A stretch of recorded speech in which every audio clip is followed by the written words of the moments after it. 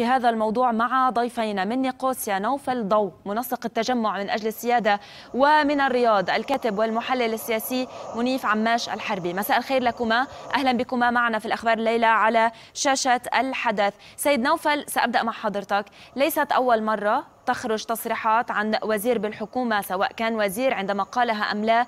وتحدث أزمة من هذا النوع مع المملكة العربية السعودية. ليست أول مرة يحكى عن خطر المخدرات الذي يتم تهريبه من لبنان إلى داخل المملكة فيما فهم بأنه هو أصلا يعني عملية منسقة ومقصودة من جانب أطراف سياسية داخل لبنان. هل تعتقد اليوم أنه هذا الموضوع كان يعني كان مراد أن يتم الوصول إليه مع المملكة العربية السعودية من جانب بعض الأطراف اللبنانية. أنا أعتقد أنه سوء تقدير وما حصل اليوم هو نتيجة قصر نظر المنظومة السياسية والحزبية التي تمسك بالقرار في لبنان.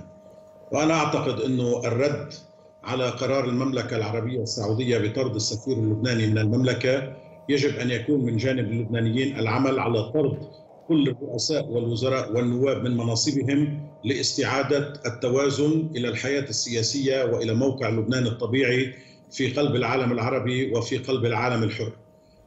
أعتقد أنه ما حصل اليوم هو نقطة تحول بالغة الأهمية على الشعب اللبناني أن يتعاطى معها بسرعة وبحسم وبحزم لئلا يعني نكون أمام أوضاع أكثر سوءا بكثير مما نعيشه الآن.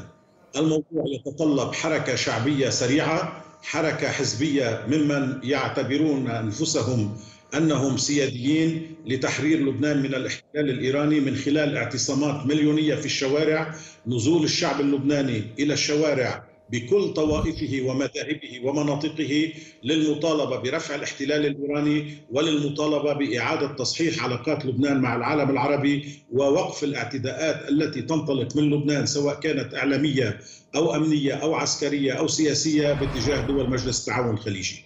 أه. بدون ذلك أنا أعتقد أننا أمام كارثة كبرى مقبلون عليها اللبنانيين وعلينا أن نتحمل مسؤوليتنا كشعب لبناني إذا كانت هذه المنظومة السياسية لا تريد أن تتحمل مسؤولياتها.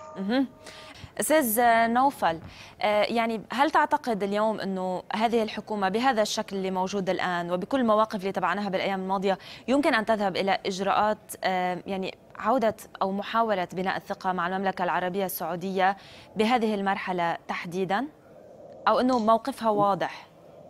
سيدتي أنا أعتبر أن هذه الحكومة جزء من المشكلة وجزء من الاحتلال وهي التي تسببت بما وصلنا إليه، فلا يمكن للداء أن يكون دواء.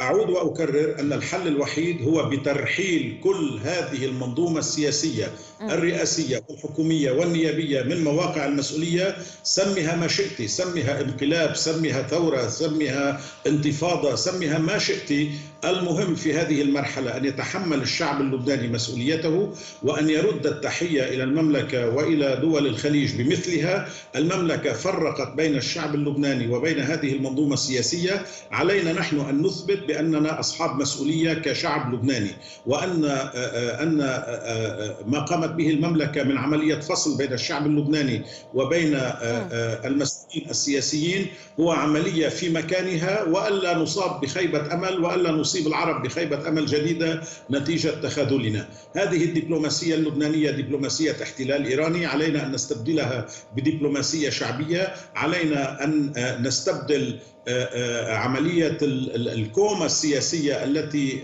تغط فيها المنظومة السياسية والحزبية في لبنان بحركة شعبية كبيرة لاستعادة السيادة والاستقلال في لبنان ولاستعادة علاقات لبنان العربية والدولية. بدون ذلك نحن نذهب إلى الانتحار نحن نذهب إلى عملية موت بطيء.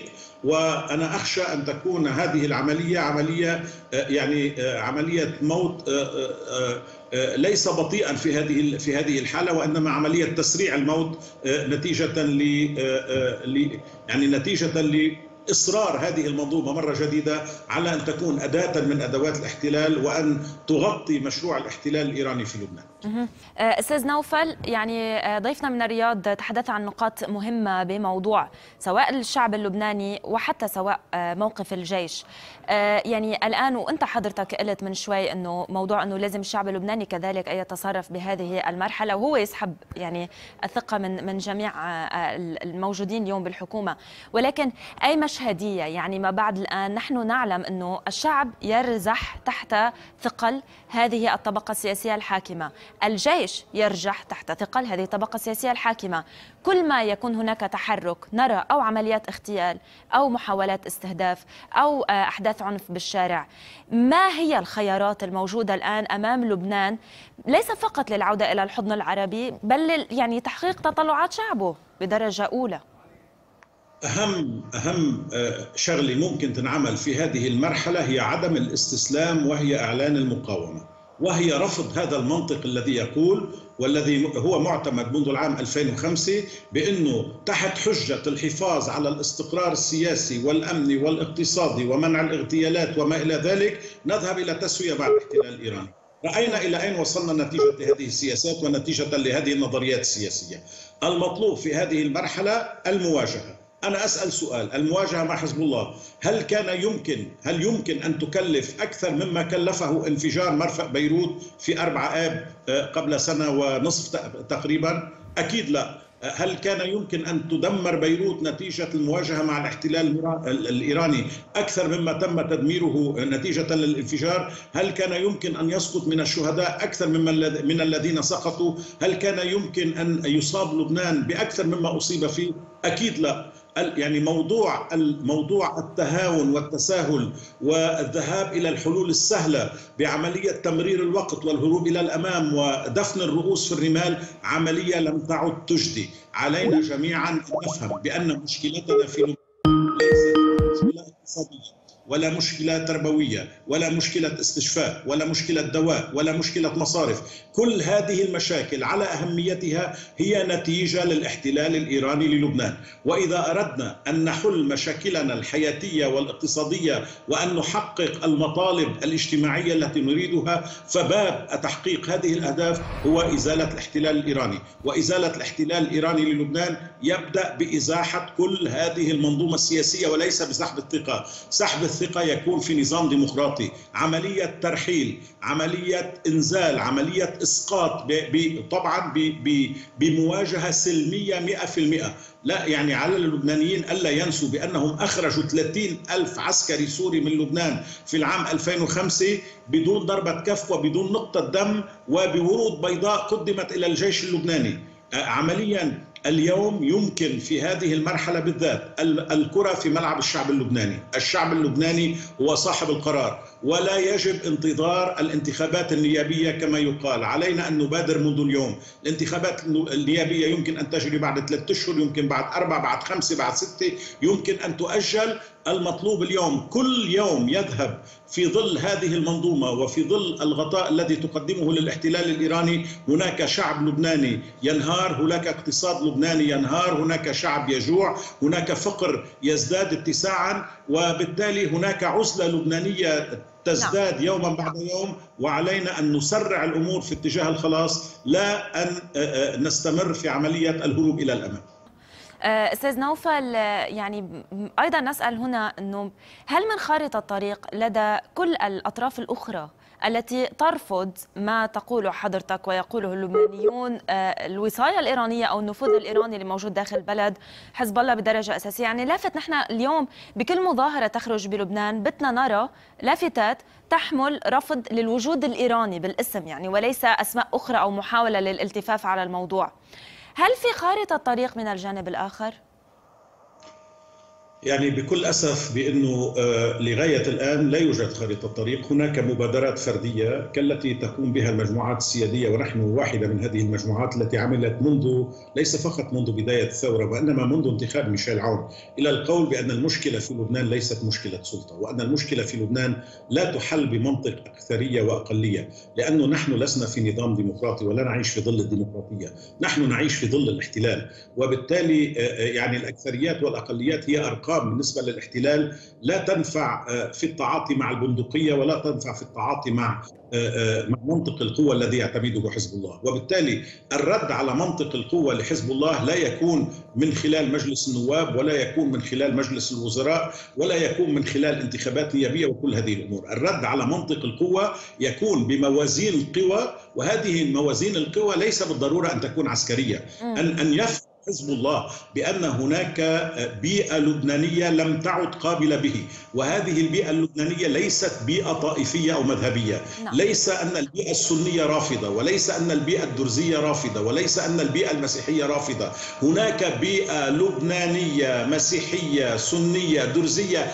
وحتى شيعية رافضة. وإلا بماذا نفسر اغتيال قادة الرأي الشيعة وآخرهم لقمان سليم بالتالي هذا هذا الرفض أو هذا هذا الفكر العروبي اللبناني يجب أن يتظاهر من خلال مشروع واضح، المشكلة التي نعيشها في لبنان اليوم أن هناك مشروعا استراتيجيا واحدا اسمه مشروع حزب الله يعمل على الاحتلال وتثبيت الاحتلال، في المقابل هناك مجموعة تحركات فردية، المطلوب تحويل هذه التحركات إلى مشروع شراكة استراتيجية مع العالم العربي، يعني عرفنا بقى كلام وردات فعل انه كل ما يصير مشكلة مع المملكة العربية السعودية نتيجة تطاول عليها أو نتيجة اعتداء بالكلام أو بغير الكلام عليها بنروح بنخبر الناس المملكة ساعدتنا والمملكة مفضلة علينا والمملكة زودتنا بالمساعدات والمملكة تحتضن اللبنانيين. لا مش مطلوب علاقة مع المملكة على قاعدة المصلحة المالية والاقتصادية.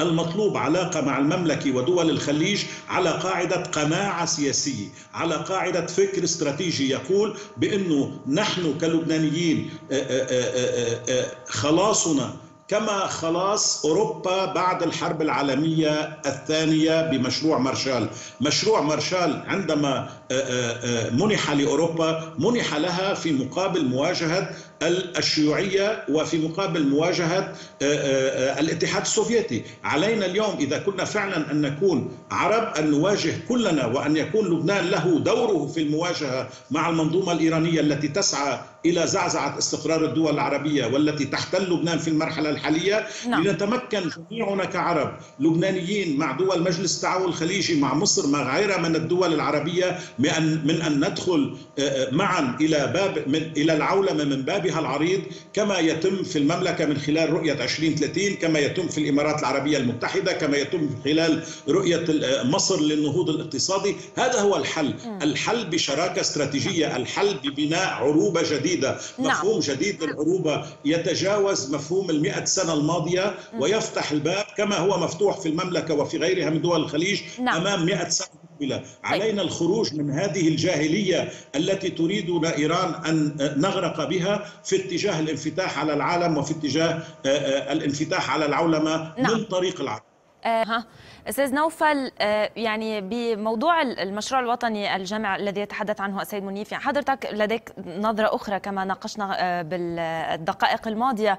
ولكن أيضا نسأل هنا إنه عندما نشهد في الشارع رفض لأي تصرف من جانب ميليشيات حزب الله أو أو حلفائها يتم اتهامهم طبعا إما بالعمالة أو يتم الاعتداء عليهم. شفنا RPG بالشوارع الأسبوع الماضي أو من أسبوعين. ويعني يتم التعاطي بمنطق آخر. معهم. حضرتك من قلت إنه يجب التعاطي معهم بنفس المنطق ولكن بأي مرحلة نحن اليوم نقف؟ لأنه يعني هل الموضوع قابل لأي مواجهة بالشارع؟ هل الموضوع قابل لأي تغير بموقف الجيش؟ أي يعني معطيات موجودة الآن بظل أزمة اقتصادية ثقيلة جدا على الجميع.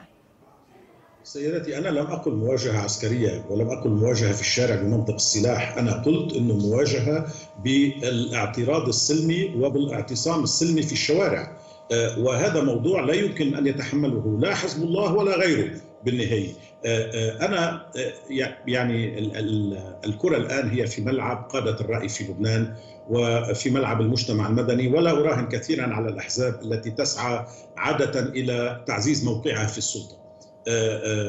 في هذه المرحلة المطلوب رؤية سياسية واضحة وهذه الرؤية السياسية ليست رؤية لها علاقة بالصراع بالصناعة والزراعة وما بعرف شو في لبنان وإلى ما هنالك لأن هذه المواضيع لا تعالج إلا بمعالجة الرؤية الاستراتيجية إلا بإعادة لبنان إلى موقعه الطبيعي في الجيوسياسة على على مستوى المنطقة نعم. إذا كان شريكا علينا أن نبني مشروع شراكة، أن نطرح مشروع شراكة، ومن جهتنا كتجمع سنبادر خلال الأيام والأسابيع القليلة المقبلة إلى طرح مشروعنا الموجود والحاضر والذي نعمل عليه، عمليا من أجل تكوين بيئة فكرية سياسية ثقافية أكاديمية الهدف منها بناء مقاومة شعبية للاحتلال الإيراني ولمحاولة تغيير هوية لبنان. البعض قد يقول بانه هذا المشروع طويل الأمد، صحيح يمكن أن يكون مشروعا طويل الأمد، ولكن لا يمكن لأي تحرك بالشارع ألا يكون له غطاء سياسي واضح واستراتيجي واضح. دورنا ليس السلطة في هذه المرحلة، دورنا هو عملية إيجاد الغطاء وإيجاد القاعدة السياسية الاستراتيجية المطلوبة في هذه المرحلة التي توجه الحركة الشعبية لأنه على مدى السنتين الماضيتين بكل أسف الحركة الشعبية تحركت بشيء من غريزة البقاء ولم تتحرك تحت ظل أو تحت سقف مشروع سياسي واضح لذلك لم تحقق أهدافها م. المطلوب في هذه المرحلة كما كل ثورة كما كل حركة تغيير كما كل حركة تحرر أن يكون هناك فكر سياسي أن يكون هناك مشروع سياسي واضح نعم. أن يكون هناك توضيح لعلاقة لبنان بمحيطه. من هو الصديق؟ من هو العدو؟ من هو الحليف؟ من هو الشريك؟ وبالتالي لنتمكن من الخروج من هذه الأزمة. نعم. أما عملية التخبط القائمة الآن والانتقال من استحقاق انتخابي إلى استحقاق انتخابي آخر ومن استحقاق حكومي إلى استحقاق حكومي آخر لا يمكن أن يؤدي إلى نتيجة. جربنا منذ 2005 إلى اليوم. نعم. يعني مر علينا ثلاث أربع رؤساء جمهوريات مر علينا 10 15 حكومي مر علينا ثلاث أربع مجالس نيابية وكلها لم تنفع.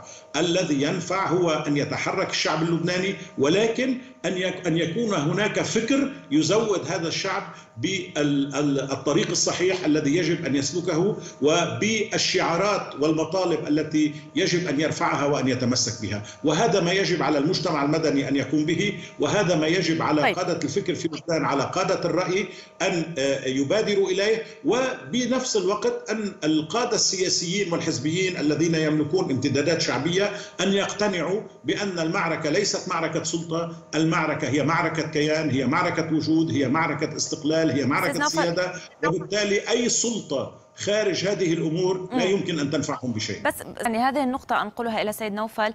صار من الواضح لكل الدول التي كانت صديقة للبنان بكثير من المراحل أو ربما بكل المراحل أنه اليوم في فصل كبير بين الشعب وبين السلطة التي تحكمه حتى لو تغيرت أسماء هذه السلطة. بس سيد نوفل يعني بالنهاية الأمور والتداعيات تأتي على الشعب بدرجة أولى ومن هنا نسأل حضرتك تتحدث عن عن عدة نقاط تتحدث عن مشروع من جانبكم أيضا ستتفضلون يعملون به. ولكن يعني إلى أي مدى اليوم يمكن القول أنه في مخرج قريب؟ يعني يمكن ذهاب إلى مخرج قريب. الكرة في ملعبنا كشعب لبناني. لا يمكن يعني عمليا أن نتحدث عن تحرير بلادنا بدون تضحيات.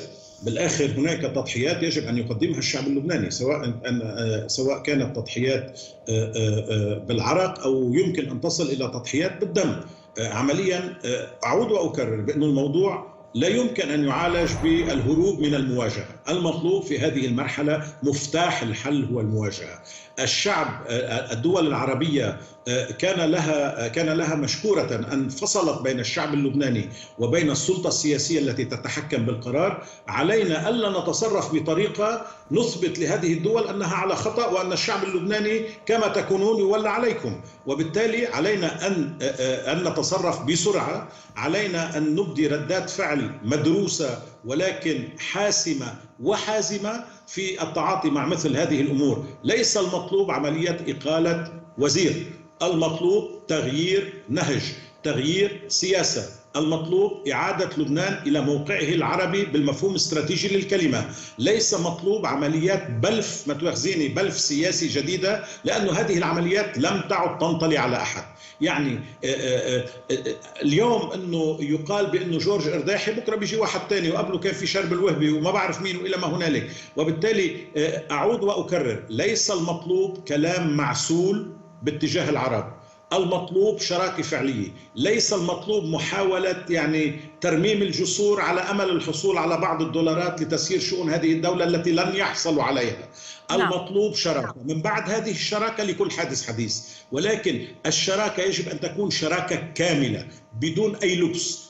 شراكة سياسية، شراكة اقتصادية، شراكة أمنية، شراكة في الأمن القومي، شراكة في كل المستويات بطبيعة الحال، بطبيعة الحال مع الحفاظ على السيادة، على الاستقلال، على مصالح الشعب اللبناني.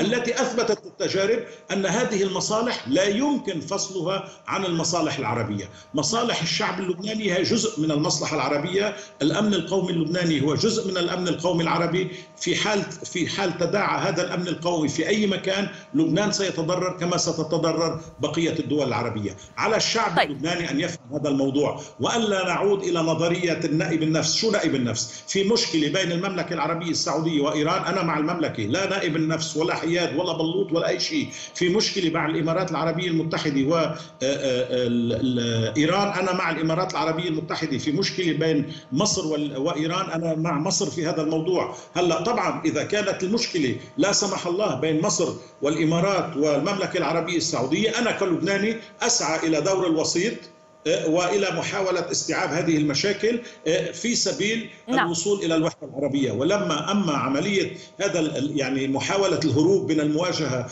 جربناها على كل حال النائب النفس لنا 10 سنين بنحكي بنائب النفس. إلى أين وصلنا؟ لنا 10 سنين بنحكي آه، بمحاولة الحفاظ على الاستقرار الأمني والسياسي والاقتصادي بالبلد. وصلنا إلى انهيارات مالية واقتصادية وسياسية وأخلاقية وأمنية من كل الميلات خلص جربوها. يعني حتى حتى الأحزاب والقوى السياسية يعني رده فعل كثير آه، آه، آه، خجولة. يعني الكلام اللي صدر عن الوزير ارداح لك في رؤساء أحزاب يفترض إنه يكونوا سياديين والمملكة واقفة على واقفة على خطرهم من من 20 سنة ومن 30 سنة وإلى ما هنالك. ما سمعنا كلمة واللي حكي يعني حكي بخجل بهيك ما بعرف كيف يعني إنه رفعا للعتب وكأنه العملية لها علاقة بحادث سير على طريق. لا مش هيك بتصير الأمور. نعم. إما أن ان ان ان إما أن نتموضع استراتيجيا وإما لا حل في الموضوع. أه. أستاذ نوفل أيضا أذهب إليك بكلمة أخيرة قبل ما ينتهي وقت البرنامج. يعني اليوم من هم العقلاء اللبنانيون الذين يمكنهم أن يقودوا إلى آه، مصير مختلف عما وصلنا إليه في السياسة اللبنانية؟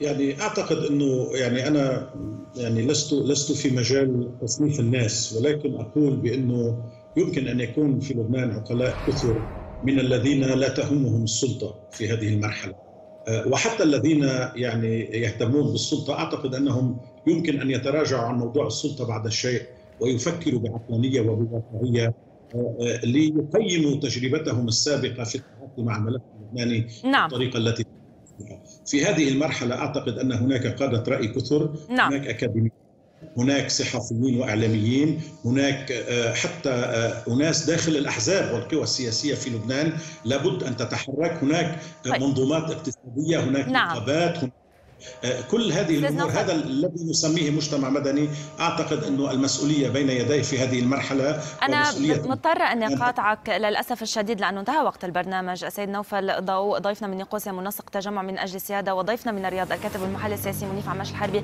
أنا أشكركما جزيل الشكر. بهذا مشاهدينا نصل إلى ختام الأخبار ليله شكرا على المتابعة وإلى اللقاء.